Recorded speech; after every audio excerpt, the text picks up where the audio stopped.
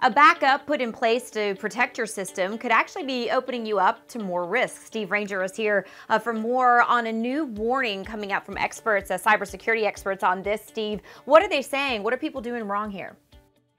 Sure. So what's gone wrong here is uh, this. This is a warning from the uh, National Cybersecurity Centre, which is uh, the, the, UK's uh, cybersecurity centre, and it's warning about uh, how companies are getting it wrong when they're trying to protect themselves from ransomware.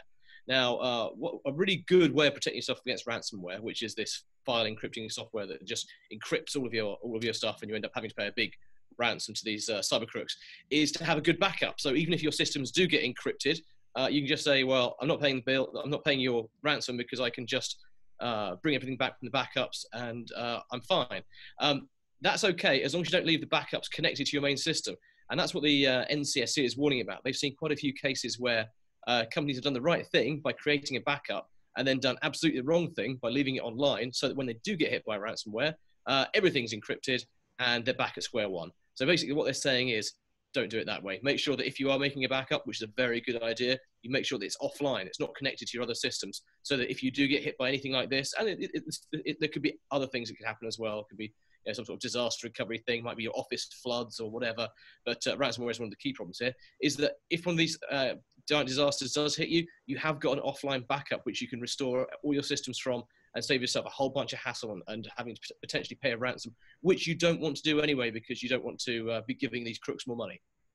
Yeah, most certainly. All right, Steve. Well, besides, uh, you know, making sure you're offline, what else uh, is being suggested? I mean, we talk about ransomware a lot in, in attacks like this. Just what are some of the common things that uh, folks need to keep in mind?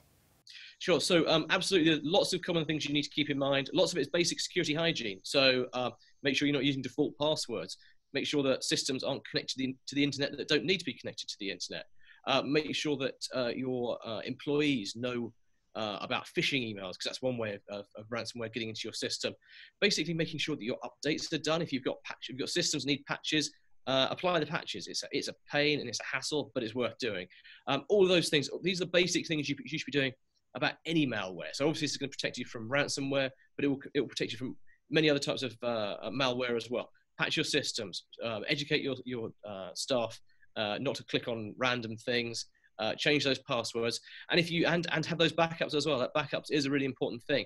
Um, NCSC says there's a rule which is three two one. So have three copies on two devices and have one offline. So uh, all of those things together won't necessarily mean you won't get hit by ransomware, but or any other malware. But if you have all those things in place, uh, it should mitigate some of the impacts.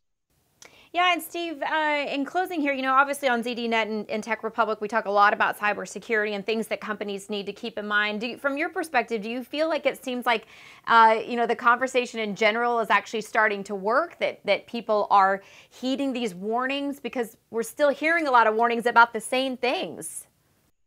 Yeah, I'm afraid so. I, I, don't think that we're really learning all the lessons here. Um, you see uh, week in, week out stories about various organizations, big and small, getting hit by ransomware or being hit by malware. Um, the, the, truth is that uh, any organization can, can get unlucky. Um, um, however, the, the, uh, the, possibly the bigger truth is that lots and lots of organizations leave themselves open uh, and to, to, unnecessary risk by not doing the things we talked about already, which are the sorts of basic things you would expect uh, you know, organizations large and small to do, but sadly not all do. Yep. All right. Lots to keep in mind, Steve. Thanks so much. For more on that security warning, uh, make sure you check out Steve's full article on ZDNet.